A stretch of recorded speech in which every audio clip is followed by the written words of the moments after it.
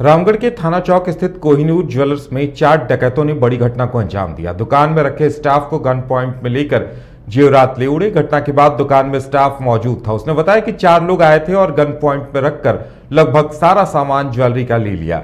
घटना के बाद रामगढ़ थाना पुलिस घटनास्थल पर पहुँची और जाँच शुरू कर दी है। इस बाबत रामगढ़ चैंबर ऑफ़ कॉमर्स के सदस्य आनंद अग्रवाल ने बताया कि रामगढ़ की प्रशासन व्यवस्था एकदम चौपट हो गई है। बीच बाज़ार में अपराधी इतनी बड़ी घटना को अंजाम देकर चले जा रहे हैं, जबकि घटनास्थल से रामगढ़ थाने की दूरी महज 100 मीटर है। और खास बात यह है कि राज्य के मुख्यमंत्री हेमंत सोरेन रामगढ़ ज़िले के नेमरा आए हुए हैं, और उसी बीच जब सुरक्षाकर्मी पुलिस का फोकस उनकी यात्रा पर है, नेमरा की यात्रा पर उस बीच डकैतों ने इस घटना को अंजाम दिया है।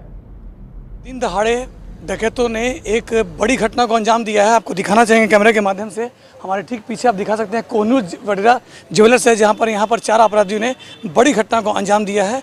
चार नकाबपोश जो अपराधी है, वो आए। दुकान में उस वक्त स्टाफ मौजूद था। दुकान के मालिक उस वक्त नहीं थे।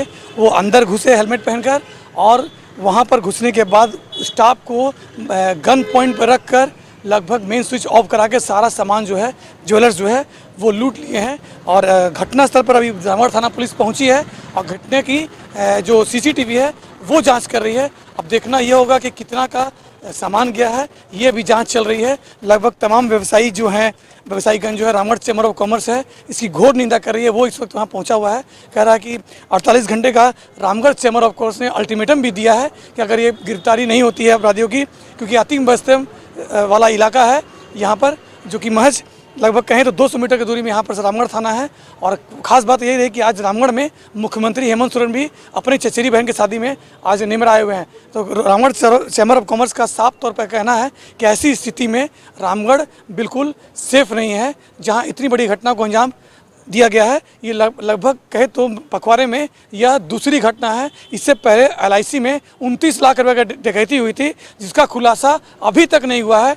जिसका खुलासा अभी तक नहीं हुआ और इसके बाद आप देख सकते हैं ये घटना, अपराधियों ने यह जो घटना का, दूसरी घटना को अंजाम दिया है। तो इस आप देख सकते हैं, हमारे पीछे ये कोहनूर ज्वेलर्स है। यहीं पर जो है, अपराधियों ने घटना को अंजाम दिया है। इस वक्त मैं रामगढ़ से करमजीत सिंह जग्गी, बाईस को, रामगढ़। वेलकम टू चाचा मामा दंगल हास्य अदाकार संजय मिश्रा से गुजारिश है कि वह अखाड़े में कूदे और फुलटूस को ट्रॉफी से नवाजे। लगता है समाधि ले ली।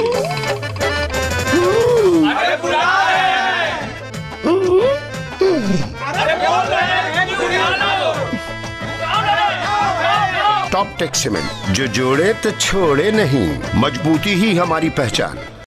झारखंड बिहार की तमाम ताज़ा तरीन खबरों के लिए देखिए न्यूज़ बाई स्कोप अब जियो टीवी पर भी उपलब्ध। इसके अलावा तमाम बड़े सोशल मीडिया प्लेटफॉर्म पर भी उपलब्ध है। बिहार में सिटी केबल पर चैनल नंबर 232 पर देखें लेटेस्ट खबरें और डाउनलोड करें प्ले स्टोर से न्यूज़ बाई स्कोप ऐप